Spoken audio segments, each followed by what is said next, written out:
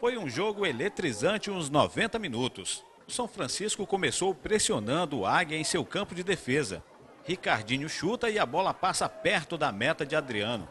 E ele novamente, o baixinho Ricardinho, entrou com velocidade na cara de Adriano, mas chutou por cima. Somente aos 28 minutos do primeiro tempo, o gol do Águia saiu nessa jogada que Robert mata bonito no peito e passa para o atacante Danilo Galvão, que só precisou de dar esse chutão aí, que enganou o goleiro adversário.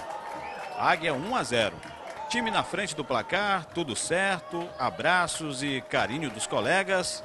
Mas espera aí, Danilo, não tá esquecendo de nada não?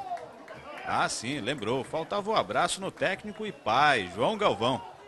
Agora só uma aguazinha para refrescar. Pode voltar ao jogo, Danilo. Falta para o São Francisco. Bola na cabeça do atacante e vai na trave. Sorte do paredão. Na segunda etapa do jogo, o São Francisco fez várias investidas para buscar o gol de empate. E o gol do São Francisco estava amadurecendo. Nesta jogada, Adriano defende e joga a bola para a linha de fundo.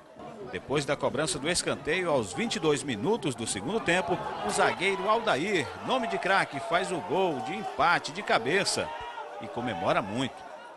Tudo igual no Zinho Oliveira, 1 um a 1. Um. No finalzinho, o jogo ficou quente.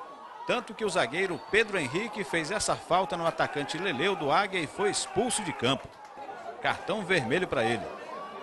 E quando tudo parecia que terminaria em empate, e esses torcedores aí resolveram ir embora do estádio e sem acreditar no time marabaense, no último minuto de jogo saiu o gol da heróica vitória do Águia, que começou nos pés do meio-campo balão.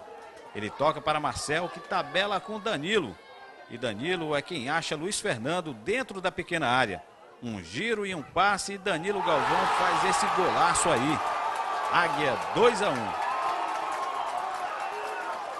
Vai lá, Danilo, abraçar o pai. Opa, não foi não.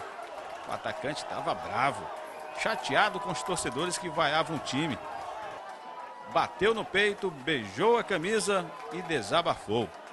É para vocês, ó, disse o Danilo. Vitória do Águia de Marabá, 2 a 1. Foi difícil, você vê que o gol saiu já no final. A gente buscou, a gente tem ainda alguns erros, algumas coisas para consertar. E eu acho que esses dois dias que faltam aí, a gente vai treinar esses erros para que em Cuiarana a gente venha busca novamente de um resultado. Essa foi apenas a segunda vitória do Águia em todo o campeonato paraense. Mas são três pontos valiosos que podem dar um ânimo na equipe que ainda quer brigar pela classificação. E como a maioria dos jogos é fora de casa, o técnico João Galvão disse que tem a receita para vencer as partidas e conquistar o objetivo.